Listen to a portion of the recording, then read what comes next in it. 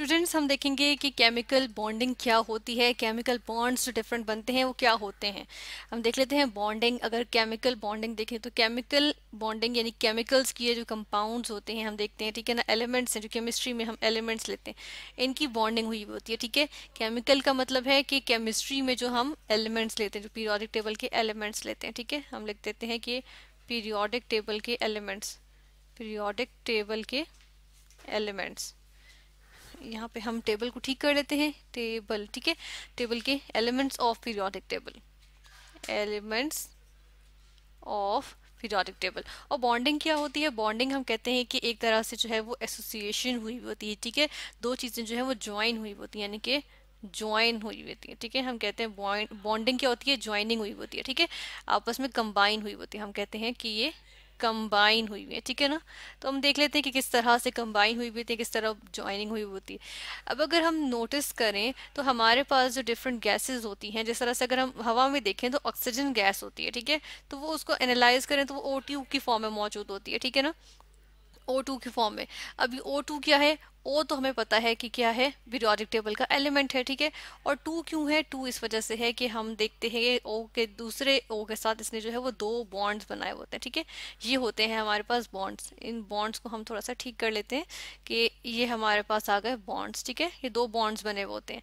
अब ये लाइन्स जो होती हैं वो असल में ये नहीं होगा कि एक ऑक्सीजन जो है वो दूसरे ऑक्सीजन के साथ जो है वो इस तरह से बीच में दो डंडे लगे होंगे रॉड्स लगी होंगी और इस तरह से बॉन्ड बना होगा, ठीक है ना? वो क्या होता है कि एक जो है वो हमें ये नज़र नहीं आ रहा होता, ठीक है? ना ये ये अनसीन होता है, ये हमें नज़र नहीं आ रहा होता इमेजनरी होता है, ठीक है? हम कहते हैं ये जो लाइन्स हैं, इनको हम कहते हैं कि ये इमेजनरी है, ठीक है? ये लाइन्स हम लिखते हैं कि क्या है? ये जो है वो इमेजनरी है इमेजनरी ठीक है? इमेजनरी और हम ये देखते हैं कि ये हमें जो है ऑक्सीजन जो है वो गैस की फॉर्म में नज़र आ रही है, ठीक है ना? तो इसके दरमियान हम, अब हमें पता चला कि जो गैस हैं डिफरेंट मॉलिक्यूल्स होंगे ऑक्सीजन के मॉलिक्यूल्स होंगे, ठीक है? सॉरी ऑक्सीजन के एटम्स होंगे। क्या होगा?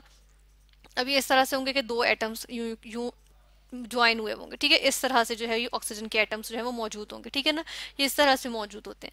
इसी तरह हम देखते हैं कि हाइड्रोजन गैस भी इसी तरह मौजूद होती है। फिर हम देखते हैं कि हम जब लैब में जाते हैं तो हमारे पास डिफरेंट केमिकल्स होते हैं, ठीक है? जिस तरह से अगर यहाँ पे किसी केमिकल की बात करें, जिस तरह हाइड्रोक्लोरिक एसिड की बात कर लेते हैं, ठीक है ना? तो उसमें भी हम देखते हैं कि हाइड्रोक्लोरिक एसिड का एज जो होता है, वो बॉन्ड बनाए हुए होता है क्लोरीन के साथ, ठीक है? अगर हम एनालाइज करें, इसकी केमिस्ट्री देखें तो हमें पता चलता है कि हाइड्रोजन जो होता है, जो एक पीरियोडिक टेबल का एलिमेंट है, ठीक है? और क्लोरीन भी पीरियोडिक टेबल का एक एलिमेंट है। इन दोनों ने एक बॉन्ड बनाया होता है आपस में, और जो है वो ज्वाइन हुए होते हैं, ठीक है? या कंबाइन हुए होते हैं, और इस तरह से क्या बना होता है? केमिकल बॉन्ड बना होता है, ठीक है? फिर हम ये देख लेते हैं कि हमारे पास होता है सोडियम क्लोराइड ठीक है? नमक जो हम घर में खाने के तौर पर इस्तेमाल करते हैं, उसे कहते हैं सोडियम क्लोराइड ठीक है? जिसके लिए हम जो है वो घर में, इसको कहते हैं कॉमन सॉल्ट ठीक है? हम इसको कॉमन सॉल्ट या टेबल सॉल्ट भी कहते हैं। तो ये इसको हम अगर देखें यहाँ पे सोडियम क्लोराइड तो इसमें क्या होता है, इसकी भी अगर केमिस्ट्री एनालाइज करें तो क्या होता है, एक एलिमेंट होता है पीरियोडिक टेबल का सोडियम ठीक है, और दूसरा एलिमेंट होता है पीरियोडिक टेबल का जिसको हम कहते हैं क्लोरीन ठीक है। अब ये दोनों आपस में जो है वो क्या होते हैं, एक एलिमेंट्स आ गए पीरियोडिक टेबल के और वो क्या हो रहे हैं कंबाइन हो रहे हैं, यानी कि ज्वाइन हो रहे हैं। तो ये हमारे पास इनका कम्बिनेशन आ गया, ठीक है। तो हम कहते हैं कि केमिकल बॉन्डिंग क्या होती है, इसको अगर हम नाम दें तो हम कहते हैं कि केमिकल बॉन्डिंग एक्चुअली होती है केमिकल कम्बिनेशन ठीक है। केमिकल बॉन्डिंग को हम कहते हैं केमिकल कम्बिनेशन कम्बिनेशन ठीक है? अब केमिकल कम्बिनेशन में हम देख रहे हैं कि जो बॉन्ड्स आ रहे हैं ना, इनकी अलग अलग नौीयत होती है, ठीक है? जिस तरह से अगर हम इसमें देखें ऑक्सीजन में देखें तो ये डबल बॉन्ड्स तो आ रहे हैं, ठीक है? लेकिन क्योंकि ये जो है वो हम कहते हैं कि इनके दरमियान जो है वो जो बॉन्ड्स हैं, ये किस तरह का बॉन्ड होगा कि ये जो है वो इसके इलेक्ट्रॉन्स जो है वो शेयर हो रहे होंगे, ठीक है ना? ये अपने इलेक्ट्रॉन्स इस ऑक्सीजन के इलेक्ट्रॉन्स जो हैं, यहाँ पर जिस तरह से हम देख लेते हैं कि इसके इलेक्ट्रॉन्स ये इसके इलेक्ट्रॉन्स आ गए, ठीक है? और इस वाले के हम यहाँ पे लिख देते हैं, ये इसके इलेक्ट्रॉन्स ठीक है? अब ये शेयर हो रहे हैं, ठीक है?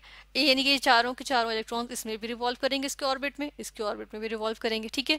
तो हम कह रहे हैं कि शेयरिंग हो रही है, ठीक है? यानी कि एक हमारे पास टाइप आ गई कि शेयरिंग होती है, ठीक है? और बॉन्डिंग हमेशा से किस वजह से आती है? ये होती है इलेक्ट्रॉन्स की वजह से, ठीक है ना? ये इलेक्ट्रॉन्स की वजह से होती है। इलेक्ट्रॉन्स क्या तो क्या होते हैं? अब हम देखते हैं कि इसके आगे दो इसकी टाइप्स होती हैं। इलेक्ट्रॉन्स किस तरह से इन्वॉल्व होते हैं? कि एक हम कहते हैं कि शेयरिंग होती है इलेक्ट्रॉन्स की, ठीक है? जिस तरह से बिल्कुल इसी तरह, जिस तरह हमने देखा कि ऑक्सीजन के मॉलिक्यूल में हम कह रहे हैं कि शेयरिंग हो रही है, ठीक है? दो, इसके ऑक्सीजन के दो एक ऑक्सीजन के और दो दूसरे ऑक्सीजन के। और इसकी वजह से इन्होंने क्या किया हुआ है? ये देखें, एक इस तरह से एक बॉन्ड बना हुआ है और इस तरह से एक ये बॉन्ड बना हुआ है। ठीक है ना? बिल्कुल इस तरह से हुआ हुआ है और इस तरह दो बॉन्ड बने हुए कहीं कहीं पे क्या होता है? दोनों एक एक इलेक्ट्रॉन शेयर कर होते हैं। जिस तरह हम हाइड्रोक्लोरिक एसिड देख एसिड में देख लेते हैं, ठीक है? अब इसमें क्या हो रहा है? इसमें हम देखते हैं, एक हाइड्रोजन इलेक्ट्रॉन शेयर किया हुआ है, एक क्लोरीन इलेक्ट्रॉन शेयर किया हुआ है, ठीक है ना? इसमें भी हम क्या कह रहे हैं कि क्या चीज़ मौजूद है? यहाँ पर भी हम कहते हैं कि शेयरिंग हो रही है, ठीक है? हम यहीं से ले आते हैं इसको। इसमें भी हम कह रहे हैं कि शेयरिंग हो रही है। फिर हम देखते हैं कि हमारे पास सोडियम क्लोराइड है, ठीक है ना? अब सोडियम क्लोराइड में क्या होता है कि इसके अंदर एक डिफरेंट केस होता है। अब इसके अंदर एक डिफरेंट केस किस तरह से होता है कि हम देखते हैं कि सोडियम जो होता है, ये अपना इलेक्ट्रॉन दे देता है, ठीक है ना? इसका इलेक्ट्रॉन हम यहाँ पे लिखते हैं कि इसने अपना इलेक्ट्रॉन दे दिया। किसको दे दिया? इसने अपना इलेक्ट्रॉन क्लोरीन को दे दिया, ठीक है ना? और क्लोरीन जो है वो क्लोराइड बन गया। इसलिए उसको क्लोराइड कहते हैं। अब ये वैसे तो अगर हम पीरियोडिक टेबल में देखें, हम क्लोरीन को क्या कहते हैं? क्लोर क्लोरीन कहते हैं। सॉरी सी को हम क्लोरीन कहते हैं। लेकिन अगर हम सोडियम क्लोराइड में देखें एन में देखें तो क्लोराइड कहते हैं इसे।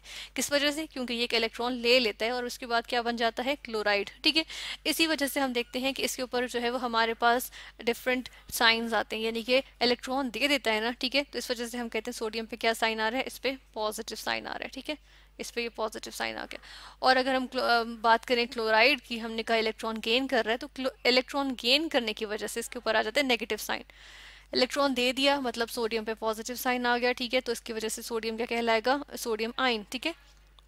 और क्लोरिया क्लोरीन ने ले लिया इलेक्ट्रॉन तो अब इस पर क्या साइन आ जाएगा? एक वन नेगेटिव एक्स्ट्रा हो गया ना तो क्लोराइड हो गया, ठीक है? वन माइनस वन आ गया। तो इसकी वजह से हम देख रहे हैं कि हमारे पास पॉजिटिव आइंस और नेगेटिव आइंस बन रहे हैं, ठीक है? तो इनको हम कहते हैं electrostatic attraction forces of attraction ठीक है ना? ये होती है इलेक्ट्रोस्टैटिक फोर्सेज ऑफ़ अट्रैक्शन तो हम जो दूसरा इसमें लिखते हैं कि हमारे पास दूसरी तरीके की जो आती है इलेक्ट्रॉन्स में, वो होती है इलेक्ट्रोस्टैटिक फोर्सेज ऑफ़ अट्रैक्शन ठीक है? हम यहाँ लिख लेते हैं electro static forces of attraction, ठीक है? एट्रैक्शन ठीक है? यानी कि हमारे पास जो है वो दो तरह से इलेक्ट्रॉन्स इन्वॉल्व होते हैं। एक ये है कि लेना देना हो रहा है, ठीक है ना?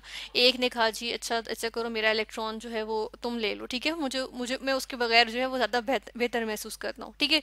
तो उसने सोडियम ने उसको दे दिया। दूसरा क्लोरीन को ज़रूरत थी, उसने कहा, चलो, ठीक है, मैं ले लेता हूँ, अगर वही मुझे दे रहा है इलेक्ट्रॉन तो वाई नॉट मैं ले लेता हूँ, ठीक है ना? उसने इलेक्ट्रॉन ले लिया। और इस तरह से क्या हुआ? हम देखते हैं कि सोडियम क्लोराइड बन गया हमारे पास, ठीक है? अब हाइड्रोक्लोरिक एसिड में क्या हुआ? हमने इसमें देखा, या ऑक्सीजन में। इन दोनों में क्या हो रहा है कि हाइड्रोजन कहता है कि मेरे पास एक इलेक्ट्रॉन है और मुझे एक और की ज़रूरत है। क्लोरीन कहता है, मेरे पास भी एक इलेक्ट्रॉन है और मुझे एक और की ज़रूरत है, ठीक है? तो फिर क्या होता है? दोनों जो हैं, वो आपस में शेयर कर लेते हैं इलेक्ट्रॉन्स ठीक है? अब जिस तरह से ये इलेक्ट्रॉन्स शेयर करते हैं, हम कहते हैं कि, चलो, अब मेरे पास भी पूरे हो गए, ठीक है? मैं भी सेटिस्फाई हो गया। और क्लोरीन कहता है, मैं भी सेटिस्फाई हो गया। ठीक है ना? इस तरह से हमारे पास शेयरिंग का बॉन्ड बन जाता है, ठीक है? और ये डिफरेंट जो है वो टाइप्स ही होती हैं बॉन्डिंग की, जिससे हम देखते हैं कि हमारे पास जो है वो पता चलता है कि स्ट्रक्चर क्या है, ठीक है? मैटर का, किसी भी चीज़ का सॉलिड है लिक्विड है, किस तरह का स्ट्रक्चर है, ठीक? क्रिस्टल होता है, ठीक है? एमॉर्फस होता है लिक्विड आ जाता है। और हम कहते हैं कि हमारे पास जो है वो प्रॉपर्टीज़ ठीक है? और इन टर्न हम कहते हैं कि प्रॉपर्टीज़ प्रॉपर्टीज़ ऑफ़ मैटर ठीक है? प्रॉपर्टीज़ ऑफ़ मैटर अब प्रॉपर्टीज़ ऑफ़ मैटर से क्या पता चलता है? हमें पता चलता है कि एक एक हमारे पास जो मैटर है, वो क्या चीज़ है? सॉलिड हो, ठीक है? या फिर क्या हो? लिक्विड हो, ठीक है? या फिर हमारे पास क्या होता है? गैस होती है, ठीक है?